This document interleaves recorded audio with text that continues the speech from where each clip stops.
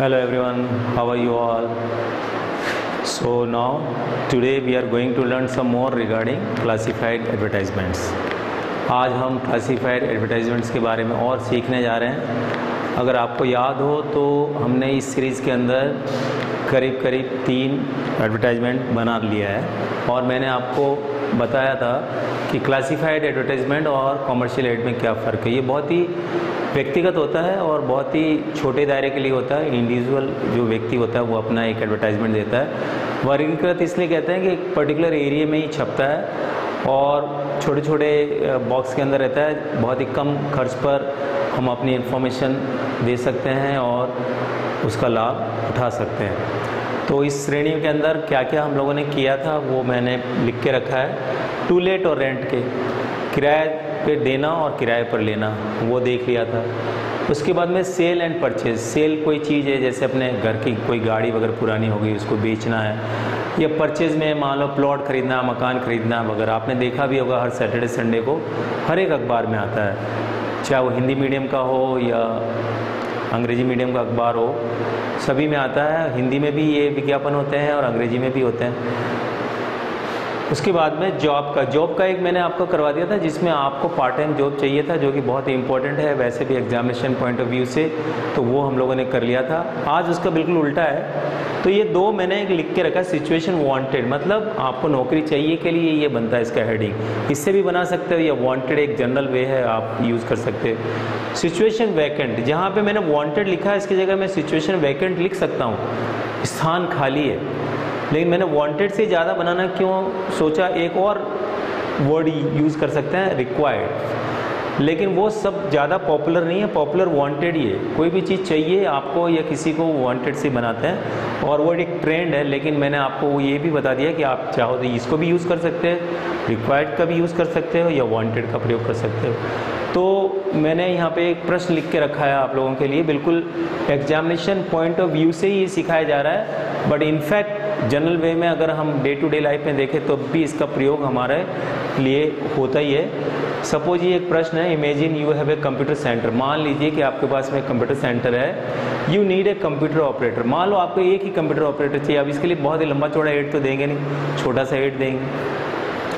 Draft a classified advertisement to be published in the newspaper newspaper में ये छपना, उसका मसौदा तैयार करके आप दोगे तो अखबार वाले इसको प्रकाशित करेंगे और वर्ड्स जितने होते हैं उसके अकॉर्डिंगली वो चार्ज करते हैं। इसलिए बहुत ही कम वर्ड्स के अंदर ज़्यादा इन्फॉर्मेशन देने की हम कोशिश करते हैं। इसलिए ग्रामर का यूज़ बहुत ही कम होता है ग्रामेटिकली इतना यूज़ करते नहीं है। सिर्फ़ वर्ड्स को जोड़ना कहीं कहीं ज़रूरत पड़ती है तो कुछ फॉर्मेशन यूज़ करनी पड़ती है।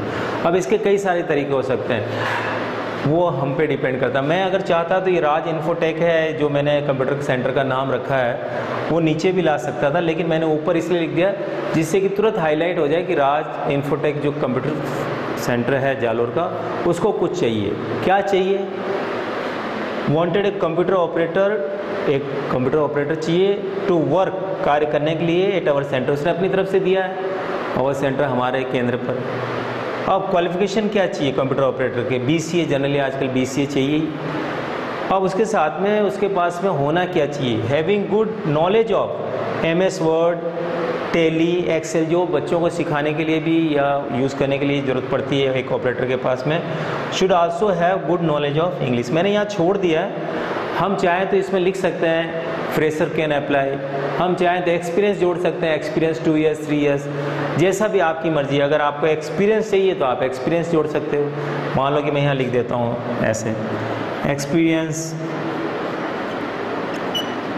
वन ईयर तो वन ईयर एक्सपीरियंस का कोई हो तो वो भी चलेगा। नहीं वन ईयर एक्सपीरियंस का है तो मैं फ्रेशर भी लिख सकता हूँ कि फ्रेशर वो भी चलेगा। कुल मिला के कंप्यूटर ऑपरेटर चाहिए। अब मैं सैलरी कितनी देने की स्थिति में हूँ?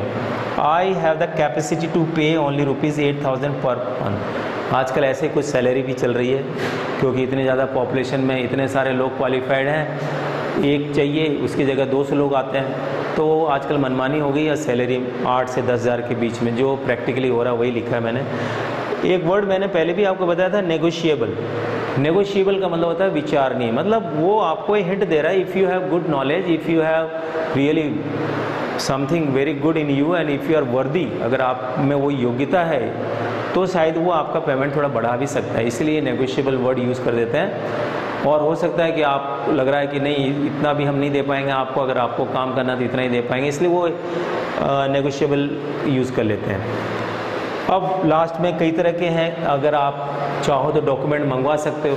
मतलब एक लंबा प्रोसेस हो गया, आपने एड दिया, फिर उसके डॉक्यूमेंट आएँगे, फिर डॉक्यूमेंट आने के बाद आप सब लोगों का चेक करोगे, फिर उसमें से सेलेक्टेड लोगों को बुलाओगे। आजकल एक नया ट्रेंड आ गया और एग्ज़ाम में भी वही होता है वॉक इन इंटरव्यू आप अपने डॉक्यूमेंट के साथ में पहुँच जाओगे, जितने बजे भी टाइम देता है और जहाँ पे भी देता है। मैंने लिख दिया है इंटरेस्टेड पर्सनस में come for walk in interview आप चाहो तो इसमें ऐड कर सकते हो अपनी तरफ़ से विथ ओरिजिनल डॉक्यूमेंट्स सभी को पता है, बहुत सारी चीज़ें सेल्फ एक्सप्लेनेटरी होती है, उसको एक्सप्लेन करने की ज़रूरत नहीं है। अगर आप वॉक इन इंटरव्यू के लिए जा रहे हैं तो नेचुरली आप अपने रिज्यूमे लेके जाओगे। बायोडाटा जिसको जनरल टर्म्स बोलते हैं, या सी वी क्यूरिकुलम वीटे वो सब लेके जाओगे, आप अपने डॉक्यूमेंट्स भी लेके जाओगे। पर अगर आप नहीं मेंशन करते हो तो भी एक ही बात है, और अगर मेंशन करते हो तो थोड़ा सा लंबा हो जाएगा। तो आप वॉक इन इंटरव्यू के लिए आ जाएँ एट टेन एम कई लोग होटल में रख लेते हैं। बहुत बड़ा अगर होता है तो। डेट दे दिया, जैसे आज, आगे का दो दिन का आगे का डेट दे दिया ट्वेंटी फिफ्थ में टू आवर सेंटर सेंटर पे मिला लिया सेंटर कहाँ है? राज इन्फोटेक जालोर का ही है। और कॉन्टैक्ट डायरेक्टर मोबाइल नंबर अगर मान लो किसी को फर्दर कोई लोकेशन की प्रॉब्लम है, कुछ और भी क्वेरी करना है they can have so very simple to draft and this is so important for class twelfth in case of academics whether you are in CBSE or in RBSE doesn't make any difference. It comes and it can fetch you four marks, जैसा मैं आपको कहता हुआ आ रहा हूँ। तो बहुत ज़्यादा परिश्रम किए बिना आप चार में से चार मार्क्स इस पे ला सकते हैं। So keep practising I hope it is not so difficult इतना ज़्यादा डिफ़िकल्ट नहीं है। आप लोग आराम से इसको सीख सकते हैं। Only it needs a bit practice थोड़ा प्रैक्टिस चाहिए। Okay thank you for the watching our videos and once again I request you all to subscribe our channel so you will be getting the notification automatically. It will be easier for you to go through our all the videos. So like our channel and subscribe. Thank you for the day. Have a nice day. Bye bye